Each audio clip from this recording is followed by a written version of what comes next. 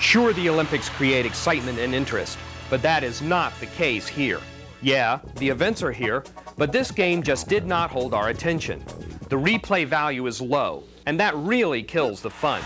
It was a nice try, but for some reason, we get the feeling that anyone who plays this game will either say to themselves, why did I buy this game? Or, I'm glad I just rented it.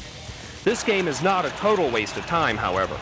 You can have some fun at some of the events if you can figure out how to push the buttons at the right time. The events to compete in include a fast bobsled run, a death-defying midair ski jump, a lightning slick luge run, and curling.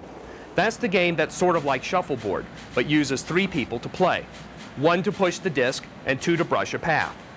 For those of you who are old enough to remember the arcade classic track and field, this game uses the same type of button pressing action. So depending on how good you are at repetitive button pressing, you will get frustrated or you will do well at the various events. Just be happy you didn't have to travel 8,000 plus miles to compete. Overall, this game did not qualify for the medal rounds.